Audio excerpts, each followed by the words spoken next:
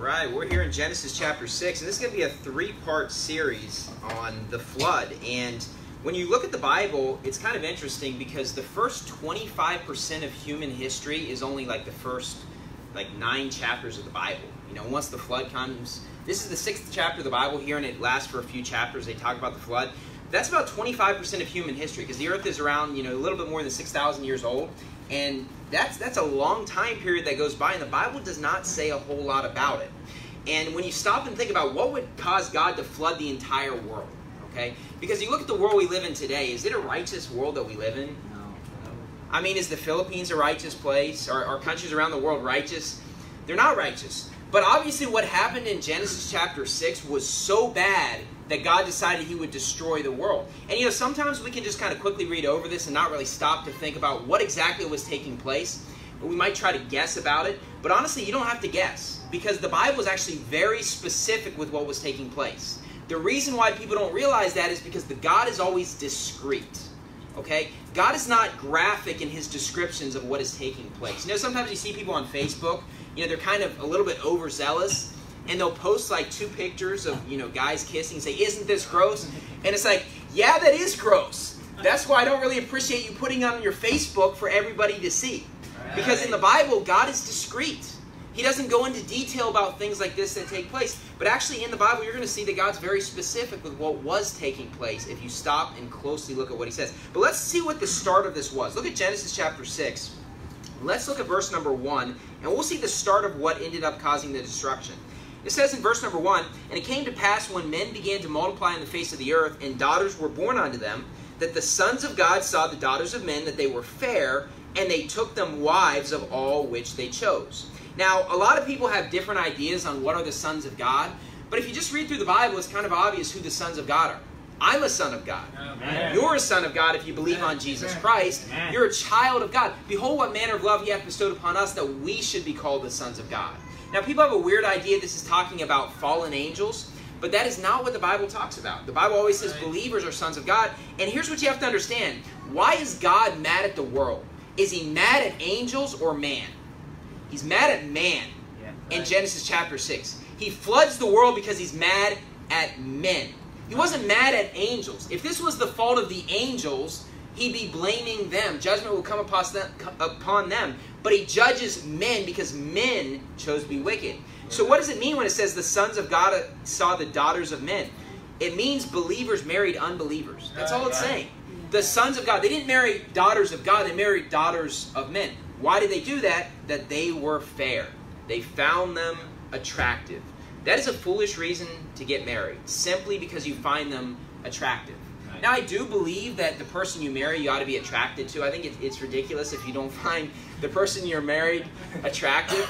I have a friend of mine who graduated from Hyles Anderson College, and there was this guy who was teaching on marriage, and he was in front of the class, and he brought up his wife, and this this is this is no lie. This is exactly what he said, at least according to what my friend said.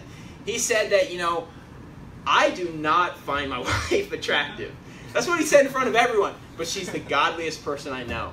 It's like, what an idiot you are. I don't care how long you've been married. You need to take some marriage counseling from, you know, whomever. It's like, why would you say that? And, and, and that's foolish, though. I mean, to not be attracted to the person you're married to. That Obviously, the number one reason should not be due to looks, but it's kind of foolish to just say, "Wow, you know, that doesn't matter at all." Obviously, you're going to be attracted to the person that you marry, right. but that shouldn't be the main reason why you marry them. And that is the main reason here in Genesis chapter six why they get married to them. Turn to 2 Corinthians six.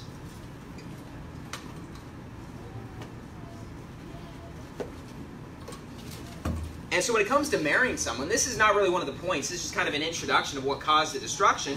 Obviously, you should marry someone who's saved first of all. Okay. Notice what it says in 2 Corinthians chapter 6, verse 14. Be not unequally yoked together with unbelievers. For what fellowship hath righteousness with unrighteousness? And what communion hath light with darkness? So the Bible says you're not to be yoked with unbelievers. But even more so, at our church, we believe some unique doctrines and some unique things. And we believe in soul winning and hard preaching. That is not something that most people believe in. Look, you would be wise to those that are not married in this room. Find someone who likes this kind of preaching. Uh, because the truth is that most people would not like the words that come out of my mouth. Yeah. Right? They wouldn't like this sort of preaching. They wouldn't like this sort of church. Marry someone who actually likes the preaching of the Word of God. Marry someone who also loves soul winning like you love soul winning. Look, if they don't love soul winning now, they're not going to love soul winning once you get married. Yeah. yeah. And it's going to get worse once you raise your kids and you're always fighting about everything.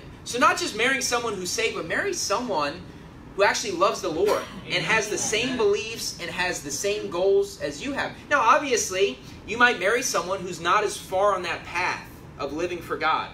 It takes time to grow. We understand that. Be patient. You know, they don't have to be at the same level you are, but marry someone who wants to climb upwards and says, you know what, I want to make the changes in my life. Maybe I'm not there right now, but I want to make those changes. Don't be foolish and marry someone who doesn't want to do that. And just thinking from a practical level, if you would compromise on who you marry right now, you're going to compromise on everything right. once you actually get married. Right. If you're willing to compromise on whether or not your spouse is saved, whether or not they want to live for the Lord, whether or not you're going to have them baptized in the Catholic Church, whether or not you're going to grow them up as a Baptist, you're going to compromise on everything. Yep. You're going to compromise on all those things if you compromise on who you get married. There's some things you have to take a stand for. Now, another thing to keep in mind is this, that if, if, if you don't have the guts to bring up salvation before you're married, you're probably not going to have the guts to bring it up afterwards. I know people that I used to go to church with that married unbelievers and their spouse is still unmarried and they're still waiting for the right time to preach the gospel to them. Mm-hmm. It's like, man, that time was before you started dating them and certainly before you got married. But see, that is the start of the downward spiral of man in Genesis chapter 6. It starts because believers chose to marry unbelievers. And if believers are going to marry unbelievers, what's going to end up happening? None of those families are going to live for God. That's just the way it is. Now turn back to Genesis 6. Now let me say this that obviously if you're married and we're going to talk about this later, but whoever you're married to is the person that we're actually going to talk about that in the next sermon. You know, it's a different sermon series. But whoever you're married to is who God wants you to be married to. You know, if you're married, that's a bond you've made, you know, for better or worse, till death do us part. In sickness and health, till death do us part. You've made a vow before God that you will stay married to them. So whether or not you fight, you stay married that's why it's foolish even to, to make comments like, oh, let's get a divorce, blah, blah, or whatever. That's foolish. Now, obviously, here, in the Philippines, you know, it's illegal to get a divorce, but a lot of people get married and they choose to just separate. Even if they're not legally divorced, they're still acting as a divorced couple. And so, obviously, you know, once you're married, you stay married. But that's the start of the downward spiral of man. But let, look at Genesis chapter 6, verse 5. And it said, And God saw that the wickedness of man was great in the earth and that every imagination of the thoughts of his heart was only evil continually. Okay? So notice how it says every imagination. The first point we have is this God destroyed the world due to wicked imaginations. Basically, a wicked mind and a wicked heart. And look at Genesis 11. Turn there.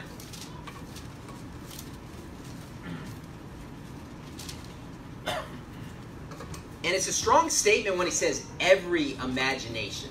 Okay, not just some imaginations. We all think foolish thoughts from time to time, but the Bible's very clear in Genesis 6 every imagination. Okay? Notice Genesis chapter 11, verse 6. We're going to see this word imagine again. It says, And the Lord said, Behold, the people is one, and they have all one language. And this they begin to do, and now nothing will be restrained from them which they have imagined to do. Now, this is after the flood. And once again, they're becoming wicked again. They're building up a tower to reach up to God. And God, at this point, destroys the languages. He makes it so people speak different languages, so they can't communicate with one another. Because he says this, they've imagined to do this, and he says nothing is going to be restrained from them. So he said the only way to stop them is to prevent them from being able to communicate with one another. So basically, you know, one day they're able to talk to one another, and then all of a sudden the next day they have no clue what each other are saying. That's where the different languages came from and they've imagined to do this. But what I want you to keep in mind here is it says nothing will be restrained from them. You see, if people imagine wickedness in their minds and heart, it means they actually want to do it. Okay? And God says they're actually going to be able to do that. Nothing's going to be restrained from them. Now turn to Romans 1. Romans 1. This kind of reminds me of when I lived in Sacramento, California, and I think most people are probably aware of this, maybe not everyone, but you know, our church was, you know, on the news because, you know, our pastor preached against the LGBT. And you know, our our uh, the owners of the building, they were on the side of the LGBT. They donated to the LGBT every year. So they basically let them protest right outside our building. And you know, there was that one big Sunday. There was like 500, 500 bakla at Tomboy that were just like right outside of our building. And there was a lot fewer of us. You know, we had a lot of people come in for the event and everything like that, but there were there was a ton of them. And you know what? Here's here's what I realized, and, and I should have known this, and I guess I kind of did, but I didn't think about it. And you can see this when you read Genesis 19, which we're not going to go there. But basically, I was like, you know what? What these people would actually like to do to us, they would do it if they could get away with it. See, if they imagine it, nothing's going to be restrained from them. And we know what's in their minds and in their heart. They actually wanted to harm us. Yep. You see stories in the Bible. If they could actually have gotten away with it, they would have done it. I actually went up to a policeman during that because they had like 40 policemen all in the front of the building where nothing was happening. They didn't try to help us at all. And a lot of them had like rainbow color brace, you know, arm bracelets and things like that on. But I asked a policeman, I said, look, I was like, there's hundreds of them here. And our people are coming in from here. And we have people visiting and stuff like that. I was like, couldn't you have like one policeman out there? I was like, you know, they could do whatever to us. And then the policeman told me, he's like, well, you, you, you need to start telling your people to come through this entrance. It's like, I don't even know the phone numbers of these people that are visiting. It was ridiculous, you know, just making an excuse. But it's like, you know what, they would have done whatever they could if they could have gotten away with it. Why? Nothing's going to be restrained from them if they imagine it. If they imagine it, it means they actually want to do it. That's the truth. And in Romans 1, we'll look at this. Let me, let me be honest, if you're, if you're visiting for the first time, this is going to be the hardest sermon I've ever preached because we're talking about what, why God destroyed the world okay? It's kind of hard to preach a sermon of why God chose to destroy the world without preaching hard against sin, isn't it? Yeah. I mean, I'm, I'm, sure there's a lot of Baptist churches that would preach a sermon on Noah's flood, and you know, it would it would be you know all nice and cuddly or whatever. But if you're going to actually preach on why God destroyed the world, obviously, you know what? It, the sin was pretty grievous. Even though he's being discreet, the sin was obviously really wicked, okay? And so Romans 1, remember the wording we looked at. Imagine, imagine. Notice what it says in Romans 1:21. Because that when they knew God, they glorified him not as God, neither were thankful, but became vain in their imaginations, and their foolish heart was darkened. Now, this is really the start of the downward spiral, because this is the chapter that's talking about Manga bakla tomboy, right? right. Mm-hmm. And this is the start of it, and he says vain imaginations. Okay? Now remember in Romans 6, it it said every imagination. Do you see a difference there? In Romans 6, it says every imagination, okay?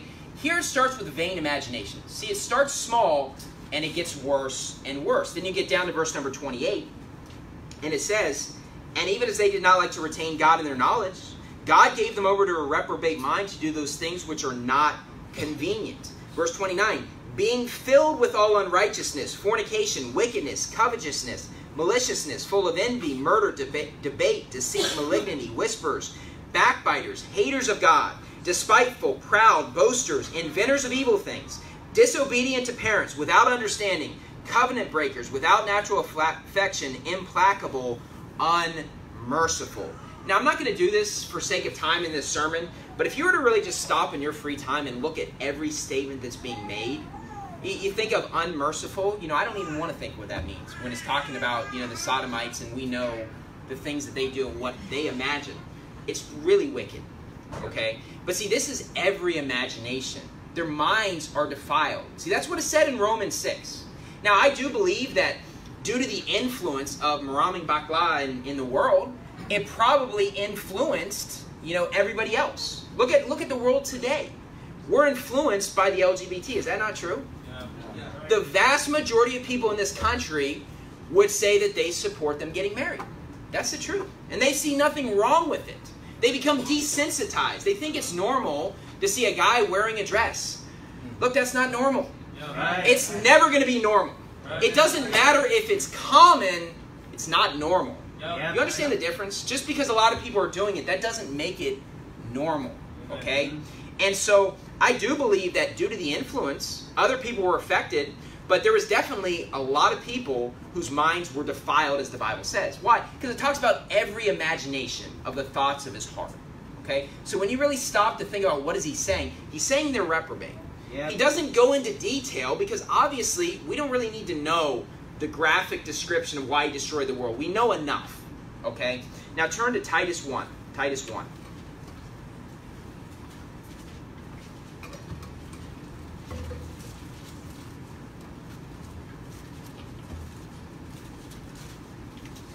Now, if you stop to think about it, why would God destroy the world?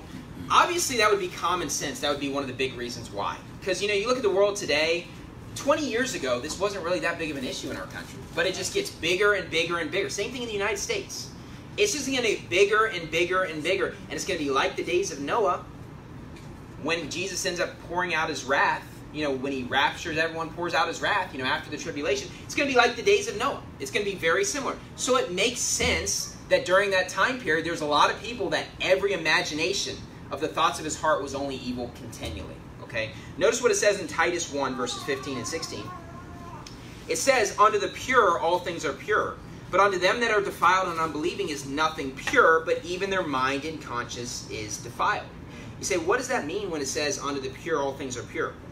It means to you that are saved and living godly, when you see a, a child, like a baby, you think innocent thoughts like, you know, how cute that baby is, right? That's what a normal person would think. That's what you think. That's what I think. That's not what everybody thinks, though. Because the Bible says there's people who their mind and conscience is defiled. See, the normal thing would be looking at that child and think, how cute, how innocent, you just want to hold the baby, you know, the, the baby's smiling. That's what a normal person would think. Completely pure thoughts. It's hard for us to imagine someone thinking something differently. You say, why? Because our minds are not defiled. It's really hard for me to imagine. It's, it's like, how in the world could you think such impure thoughts? But here's what you have to understand. If people are willing to be pedophiles, obviously it came into their mind first. Right. When we're talking about wicked imaginations, it's not like they just became a pedophile one day. It started in the mind, and then it actually took place. Okay? Right. Everything starts in the mind. Before a guy commits adultery on his spouse, guess what? thought about committing adultery first. Yeah. That's why us as believers, if our mind starts thinking wrong thoughts, you need to cut that off there. Yep. Because before you know it, you might actually be committing adultery on your spouse. See, I would never do that. Look, if you'd be willing to think about it, then maybe you would be willing to do it under certain circumstances. Don't even allow these thoughts to enter your mind. Now, obviously, we're talking about people that every imagination is wicked and evil. That's not people that are saved. But look, the Bible does talk really against having impure thoughts. Okay, the thought of foolishness is sin. And you know, we allow our minds to think really stupid things. And I'll tell you what, that's the reason why things take place, because we allow it to enter into our mind, it enters into our heart, and all of a sudden we end up changing, you know, who we are. We're willing to do things that we wouldn't normally be willing to do. And so what ended up taking place in Genesis 6, well, there's a lot of people that every imagination's defiled, and then everybody else allowed their mind to wander. They got affected by these people, and then they became worse people as well. It says in verse number 16, they profess that they know God, but in works they deny him, being abominable and disobedient, and unto every good work reprobate. Now, some people would take this verse and try to apply work salvation to this. They say, well, if you're really saved, you're going to have a change. And because of the fact their works are wrong, that's why God says they're unsaved. No, there's, there's just certain works and certain things that no normal person would do. Right? Yep whether they're saved or just an unbeliever. No normal person would do that. We're talking about, you know, defiling a child. A normal person's not going to do that. Okay? Yeah. There's certain actions that if somebody were to do that, you'd say, wow, you know, they're a reprobate. Look at the Catholic priests. Mm-hmm. That's not normal what they do. Yeah. What 100% of them do. You know, I, I appreciate President Duterte saying around 90%, but it's like, you know, you underestimated a tad bit. right? But it's just like what they're willing to do, that's not normal. That's perverted. That is sick. And that's not something a normal person is going to do. So there's certain works where if you look at that, you say, wow, that guy is a child of the devil. Because no normal person would even have that come into their mind. Now turn back to Genesis chapter 6.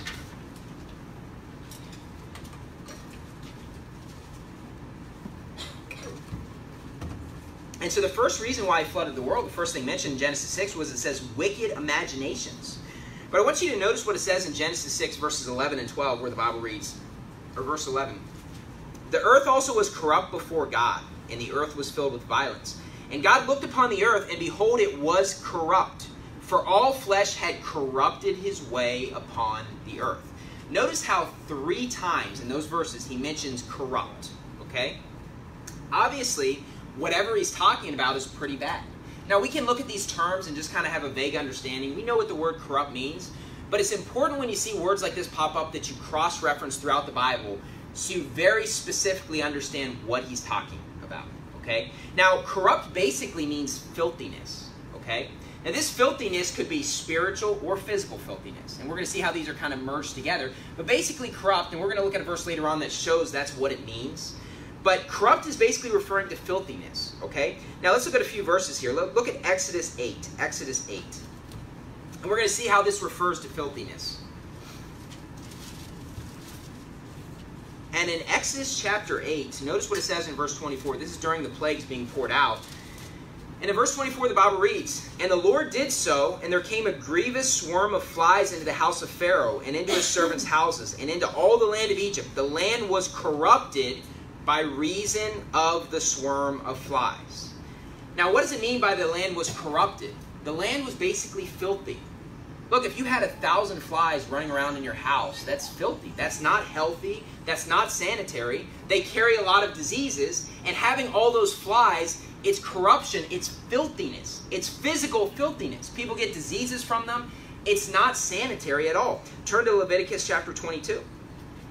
Leviticus 22 you know, in some countries that are, are you know, less, you know, civilized or they're not really applying what the Bible says in the book of Leviticus, there's a lot of countries in Africa, and one reason why they die at such a young age is because there's a lot of flies that will carry diseases because basically they don't have the proper system to discard of waste. And those flies will go on the waste and then they'll go on their food and then they're eating food that, I mean, that's corruption. That's filthiness. It's going to cause diseases. See, I mean, the book of Leviticus is not the most exciting book in the Bible, but you know, every country really ought to study that book and start applying. Our country needs to apply that. Yeah, so they can be more sanitary and less filthy because it's not healthy on your body. In Leviticus 22, verse 25, it says, Neither from a stranger's hand shall ye offer the bread of your God of any of these, because their corruption is in them, and blemishes be in them. They shall not be accepted for you blemishes or wounds, these things they're not healthy. Okay? Like if you have if you have a pimple on your face, look, that's not the most cleanest sanitary thing. Okay? It's not. And when you have blemishes or you have wounds, this stuff is, is not healthy to be around. Now, obviously, all of us get hurt and various things happen, but look, if somebody has a wound on their arm, it's not smart to just go and touch that wound and just get blood over yourself. It's not healthy. And so, what it's saying in Leviticus 22 is a blemish that's that's not sanitary. It's filthy. That's what it means by corruption. It's filthy. Turn to Psalms 38. Psalms 38.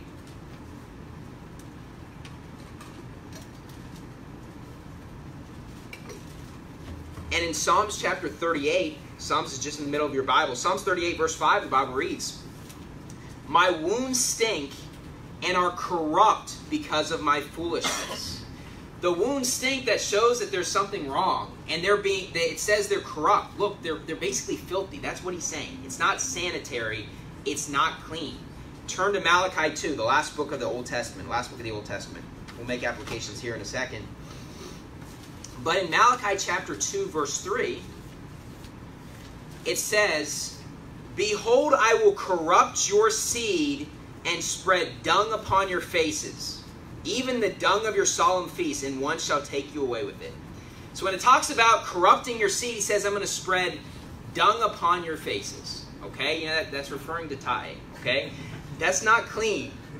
That's filthy. There's, there's no word I can use that, I mean, you, that's what it says, right? That's what the Bible's saying. And so look, when, when, when God says that he destroyed the world due to corruption, there's two aspects to this. One of them is spiritual corruption. We're going to look at that. But it was also physical corruption. It was a dirty, disgusting place.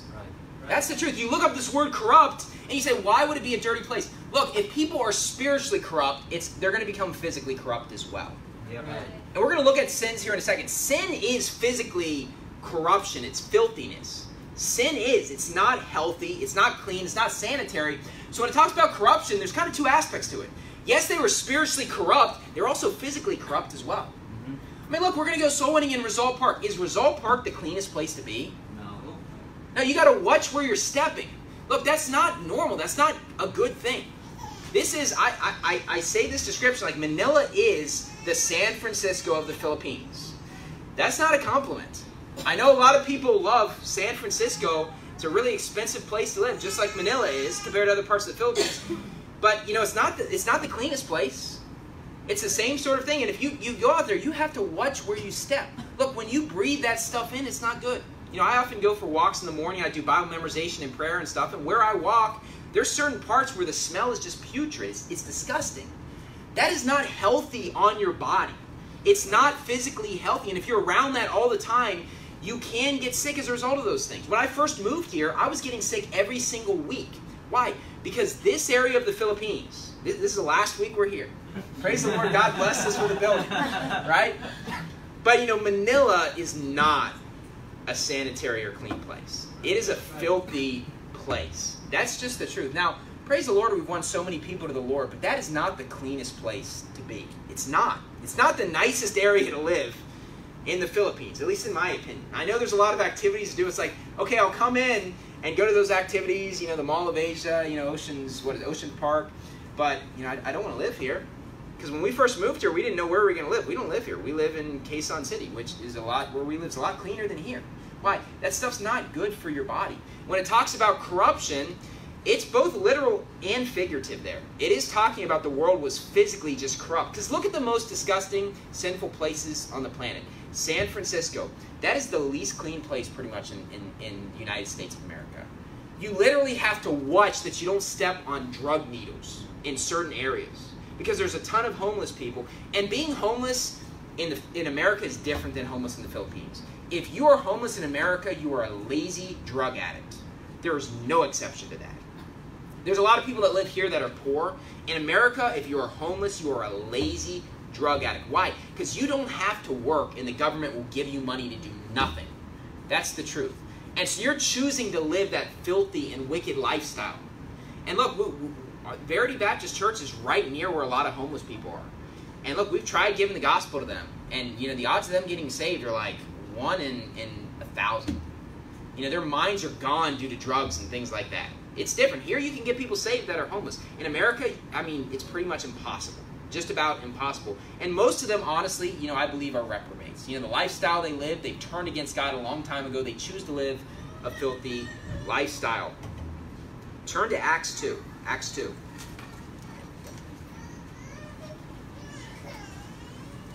But you look at places like that, San Francisco, and you know, Pastor Anderson, if you heard his sermon, he preached on San Francisco, and just physically it's not clean.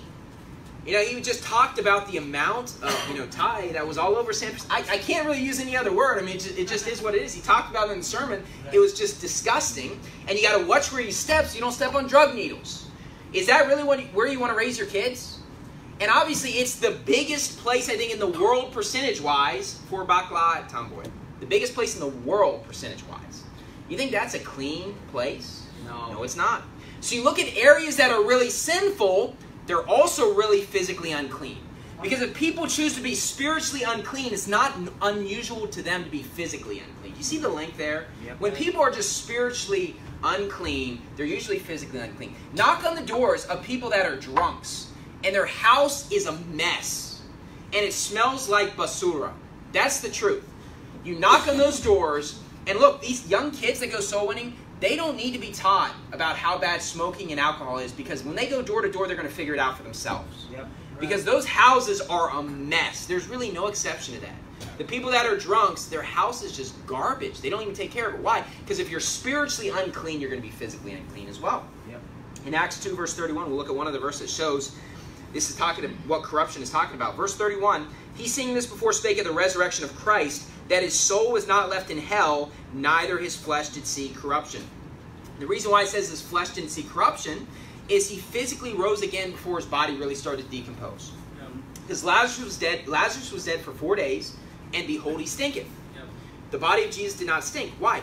He rose again before four days. He rose again at three days. That's why Jesus waited to resurrect Lazarus because he was trying to make it a, a point to everyone he's dead. So no one could doubt the miracle. But Jesus rose again before his flesh could actually see corruption. Okay? Now turn to Revelation 17. Revelation 17.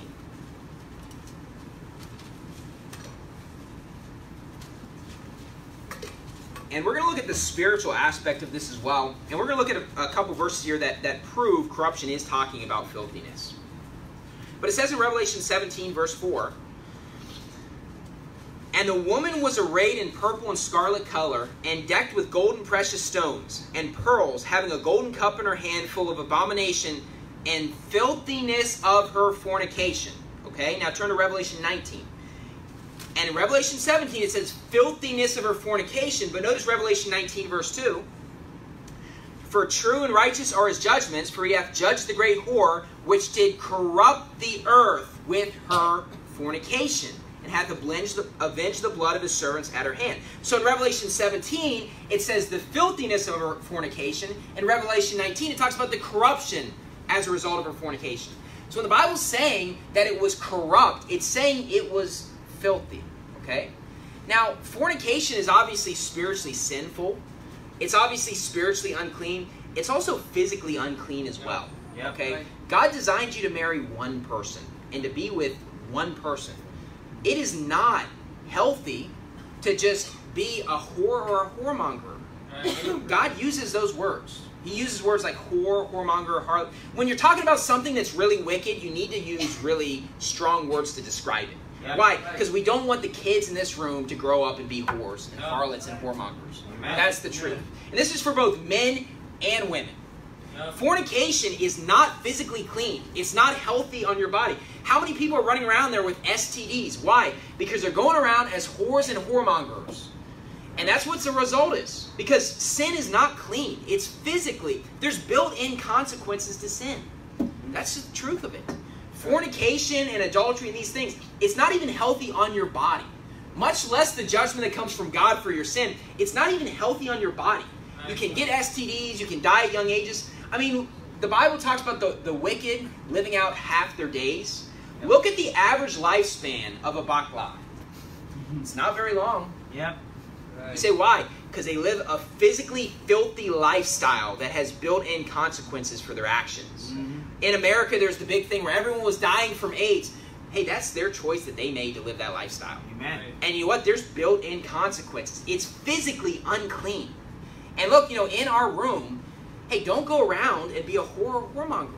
Find one person you want to marry, someone who's saved and loves the Lord, get married to them, and don't be with anyone else your whole life. That is what God's plan is. And look, you know what? It, it's worth the wait.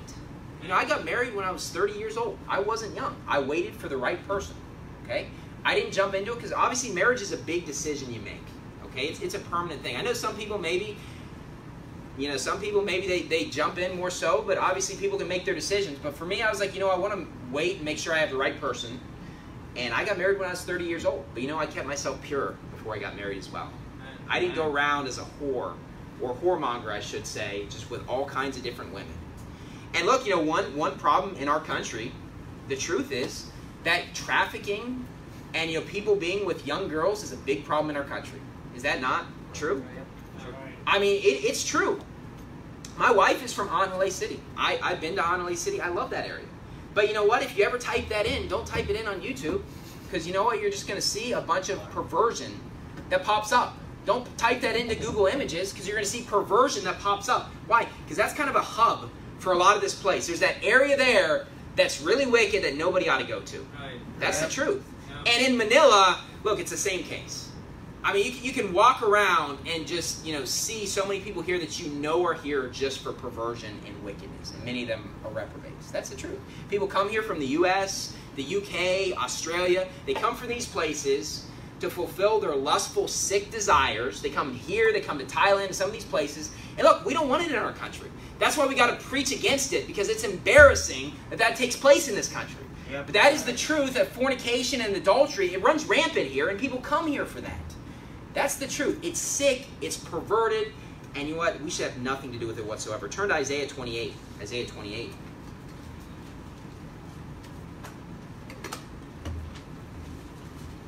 And so you look at a place like Manila that is spiritually wicked due to all the trafficking and things like that. And guess what? It's also physically, you know, unclean as well. It's spiritually unclean, and guess what? It gets passed on to being physically unclean. That's why it's physically unclean. You know, if there were churches that were in Manila that were preaching hard against sin, and you know, you didn't have to drive, you know, two hours to come to this church, look, this place would be different. Mm-hmm. It would clean up the problems here if there was other churches doing the same thing we are. And you know, there are a few churches here and there that are within a decent distance of us, you know, pastors that I know, and I, am glad for the work they're doing. They're going so many, but you know what? It's few. It's not that many. There's 13 people here, million people here in Metro Manila. That's a lot of people to reach. And you don't hear the Baptist churches crying against sin like they ought to be, like the Bible commands them to do. Yep. Fornication is physical corruption. It's physically unclean. Look at look at Isaiah 28. Let's look at drinking. Isaiah 28 verses 7 and 8.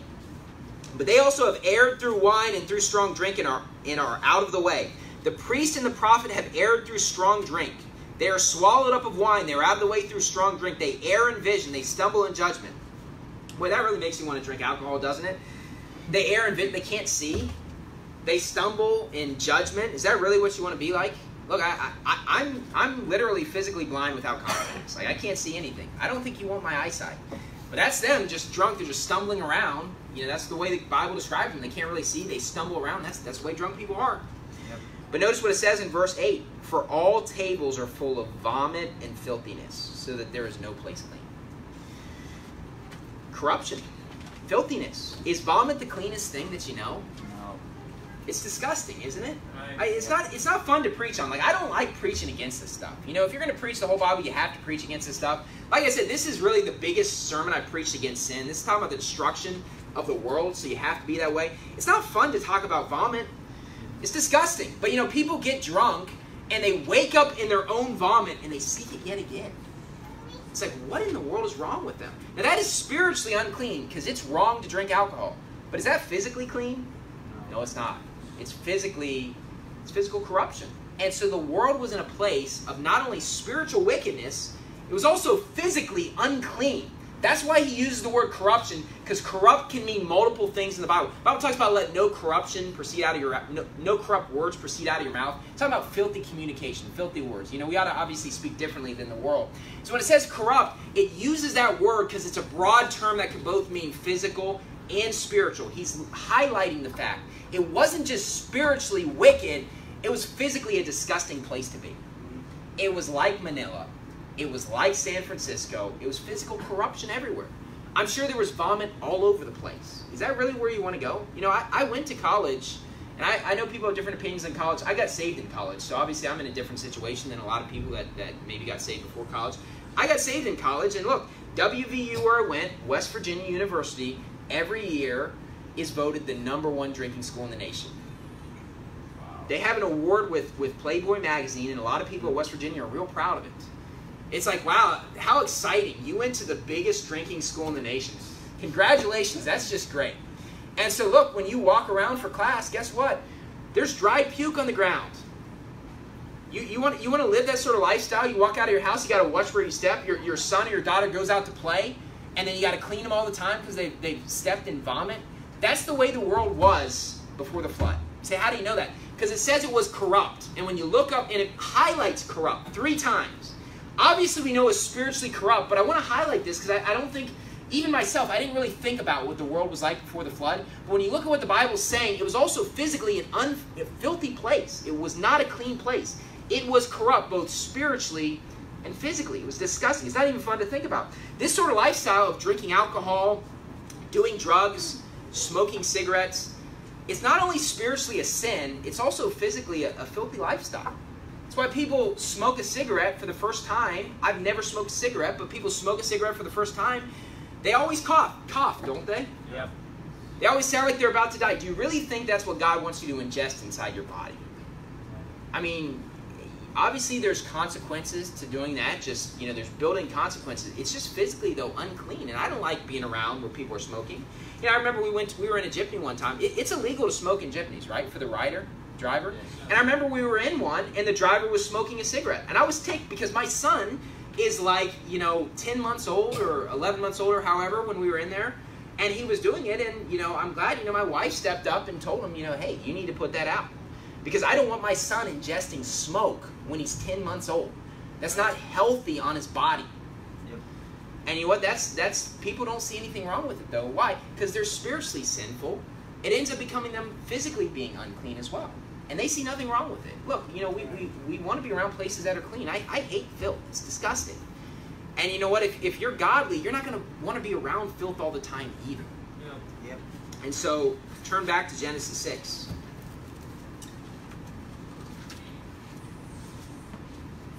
I'll tell you one problem with guys in our movement, and I, I hope it's not the way, I, I, hope it's not with our church. You know, I, I don't really necessarily know, but it is in America. Guys that are single and unmarried, they just don't have good hygiene. That's the truth. It's like, you know, you can smell them from a distance. And it's like, what are you doing? Because before I was married, you know, I, there, there's this invention called a shower. And you know I like that invention. and there's this thing called a toothbrush where you, you know, brush your teeth. And it's like, you know, honestly, you know, we as God's people, I do believe we got to take care of ourselves physically. Yes. You know, you shouldn't just have a bunch of dirty laundry around all over the floor. No, you should you should keep your house clean and keep your bodies clean. It's not good to be around that. It's not healthy on your body. That will cut off your lifespan, honestly, when you're around that stuff. That's why people that live spiritually, you know, sinful lives, they die at young ages oftentimes because of the choices that they make. And so Another thing that's mentioned in Genesis chapter 6, verse 11, it says, The earth also was corrupt before God, and the earth was filled with violence. So the first thing we saw was wicked imaginations, and we talked about what exactly that meant. Then we talked about just corruption, which is both filthy spiritually and physically. Then it says the earth was filled with violence. Okay, what is violence? It's talking about physical harm, which often includes murder. Okay, it says the earth was filled with violence, with murder okay, it was common that people were being murdered. Turn to Matthew 2. Matthew 2.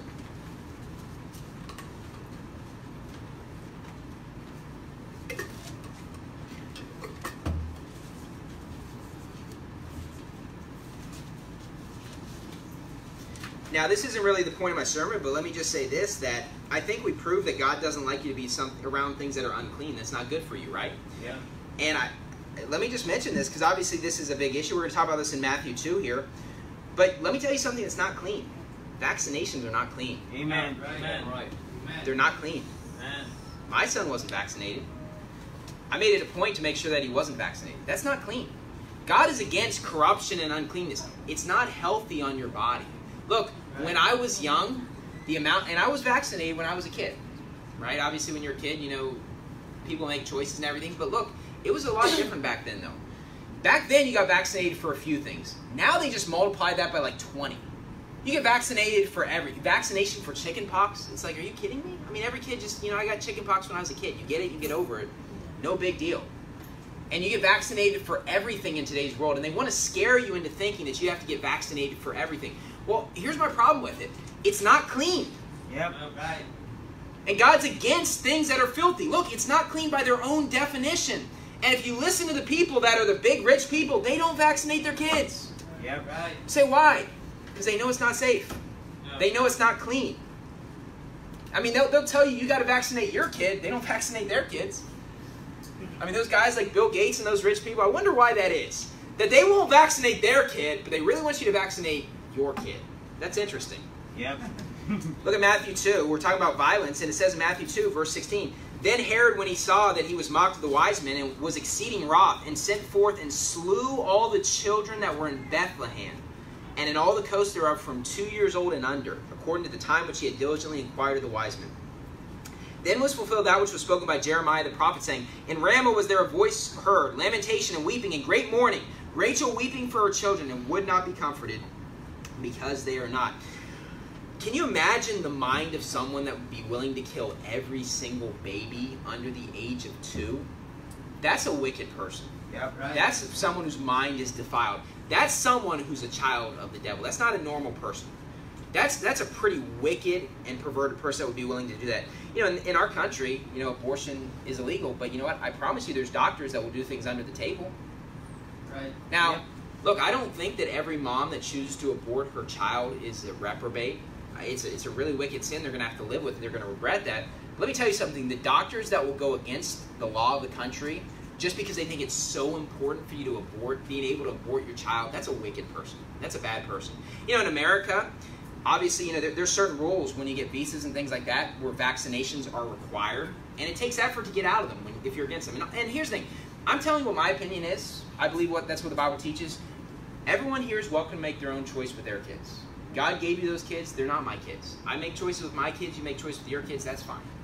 But an example of what I'm talking about, though, is if you try to get out of vaccinations, you can find doctors who will sign off and say that so and so got a vaccination. Okay? And that's something I know a lot of people do, where they get find someone, you pay them money, and the reason why that doctor does that, it could be because they want money, but but a big reason is probably because there's a lot of doctors that don't think it's safe, so they're willing to do that they're willing to go against the law because they want to protect you. They don't want you to, to be harmed through a vaccination or your child, okay? But think about a doctor that would go against the law just because he thinks it's important that you can get an abortion. That's a little bit different, isn't it? Yep. That, that, that's pretty wicked that you would, you would think it's so important that women have the right to murder their baby that you're mm-hmm. going to go against the law and just illegally do it. That's wicked. But look, when the Bible says that violence was throughout the earth, I promise you abortion was a big part of it. Yep. You say, wait, wait, weren't they like monkey men back then? No. They, they were civilized. They were smart. They're probably a lot smarter than we are today, okay? Right. I promise you they developed ways to do abortions and things like that. You know, it, it's known in ancient Egypt they had ways of doing birth control and abortion, all these things. Those things they figured out a long time ago. You know, wicked people will figure out what they want to do a long, I mean, they figured it out because they really want to be able to do it.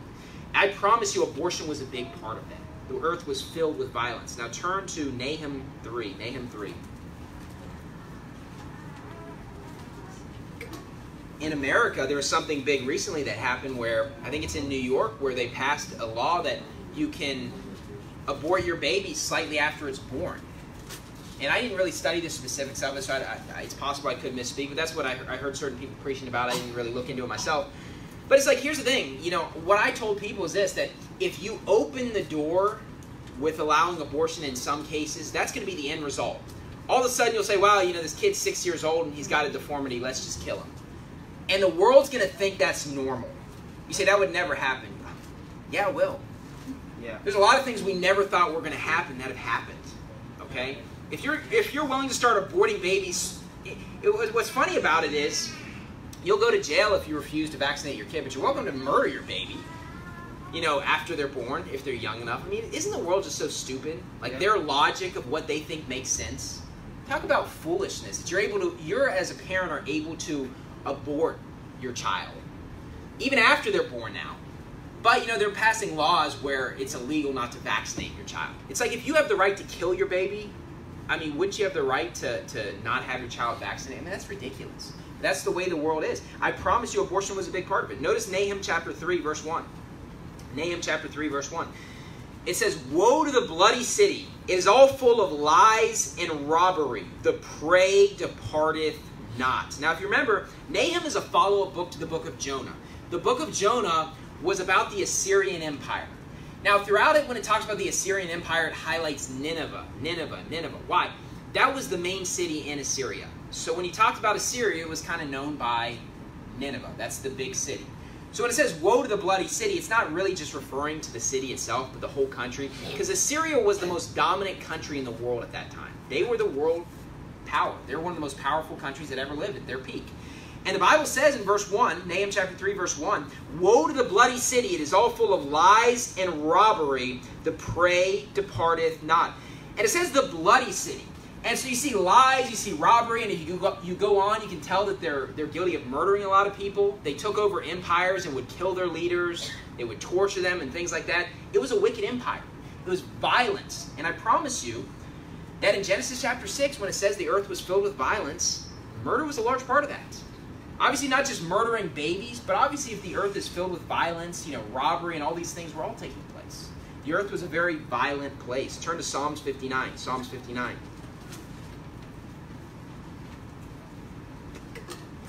Now, our country, you know, isn't really a country that goes around and starts war with all these countries.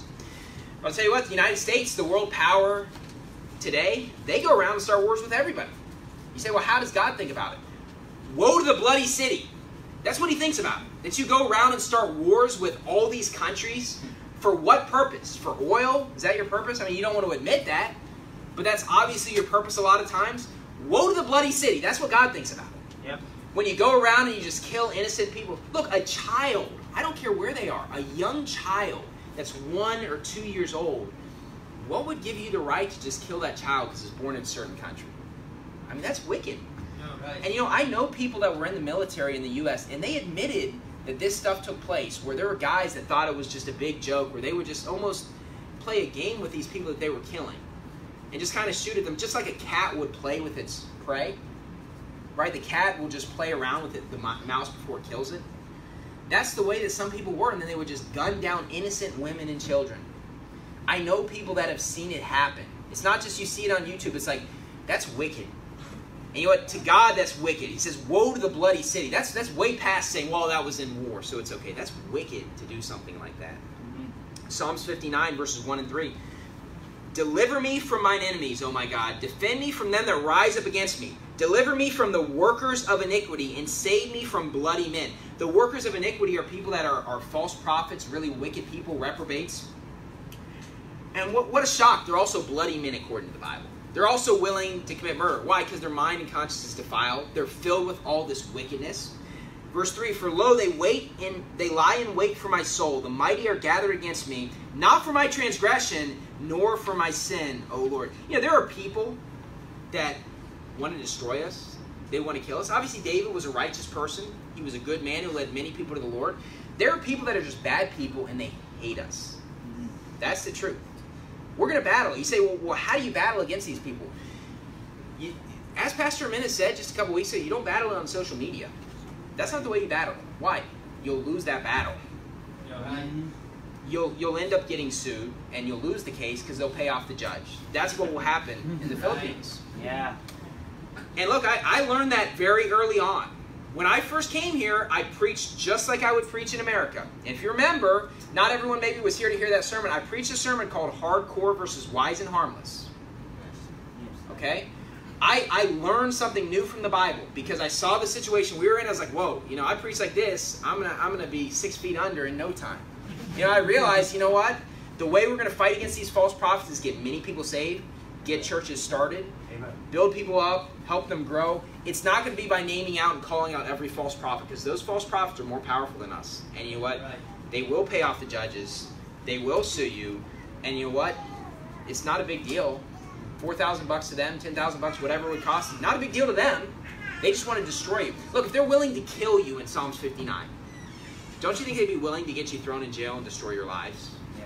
And look, you know, we need to apply that because honestly, that's something we're going to fight in the Philippines. And you know what? It's it's it's sad that this this stuff happens, but you call these false prophets, you can get yourself in some real trouble. And honestly, I, am I'm, I'm speaking from my heart right now. I'm trying to. I, I thought about talking to my church, you know, just maybe afterwards, but we need to make sure we're careful. Okay. Because unfortunately, I know some stuff that probably nobody in here knows, and everyone's going to know in a few days, and it's sad. And I don't want what's going to happen at their church to happen to ours, which means you need to be careful with what you say. Because look, you have to understand when you say something, guess who also gets in trouble? I get in trouble. Right? I mean, if, if you blast a false prophet online and get sued, I could easily get sued as well. As a result of just, I'm the one who's running the show here. And I am responsible. That's why I have to nip it in the bud if it's a problem. And honestly, with, with what's happened in the last week, look, you know, we need to be very careful with what we say and not say anything because we could get ourselves in real trouble. And you know what? I'm responsible for our church. And obviously, churches do things differently, but you know what? We need to be careful with what we say and be smart and mature. Zeal is a great thing, but zeal can also get you in a lot of trouble as well. When I was a young Christian and newly saved and excited, and I started listening to Pastor Anderson, man, I was zealous got a lot of people saved. I also got myself into a lot of trouble, right? Because I, I, was I was zealous. I was just like a lot of people in this room, and that that just takes time. It takes unfortunately the way it goes is zeal comes before maybe more maturity and charity and knowledge and some of these other things. But honestly, it's like you know we're gonna get ourselves in trouble. And look, in a, in, in a few days, you you all are gonna know what I'm talking about, and that's sad. I don't want it to happen at this church, which means we need to be careful with what we do and what we say. And I'm going to be careful with what I say. I'm preaching a hard sermon now, but honestly, there's some things I intentionally am not going to say. There, there are sermons that I will preach where we will not have it on live stream because if I put it on live stream, I will get sued. I will get in trouble because there's certain false prophets that I feel I need to preach against because they're big in the Philippines. But you know what? It's not smart to just broadcast it to everyone. Right. You got to yeah. be smart. Yes, it's good to be bold and preach the truth. We got to be careful though with how we do it though because you have to understand your battlefield. In this battlefield, you will get sued very quickly. In America, you never really get sued, and they're never going to win that case. And here, you'll get sued quickly if you're lucky. If you're not lucky, they'll pay someone to kill you.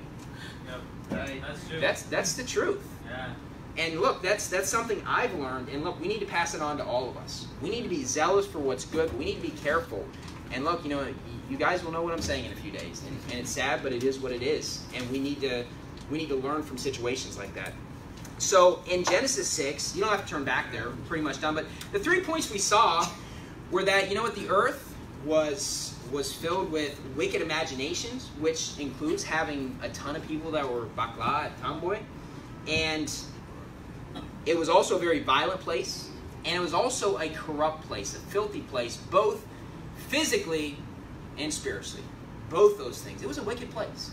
God chose to destroy the world. Okay? Our world is on a downward spiral. There is no way it's going to end up coming back up. You say, well, how do you know that? The reason why I know that is because in today's world, because remember in Genesis 11, it talked about that they're all able to communicate with one another and now nothing's going to be restrained from them.